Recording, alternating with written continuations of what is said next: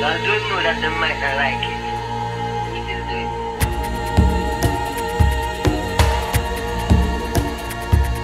I'm your favorite local rappers, local rapper they admire. If a soul was overpriced, that's why I never found a buyer. Let's be real, I got the feeling no one's better than me. Cause I look around and none of y'all know what competitive be. A demon child raised in the wild around churches and angels. Want American dream so bad, I'm star spangled. Rap about the coke for mainstream success, then you soda pop. Claiming it's your time to blow, you must be on a broken clock. You got it, then I'm coming to get it. Won't spare no feelings. Your limit is stuck at the ceiling. I'm saying good riddance. This life is taking its toll. I'm coming for vengeance. You name it, I'm taking it all and spreading my vision. For anybody thinking they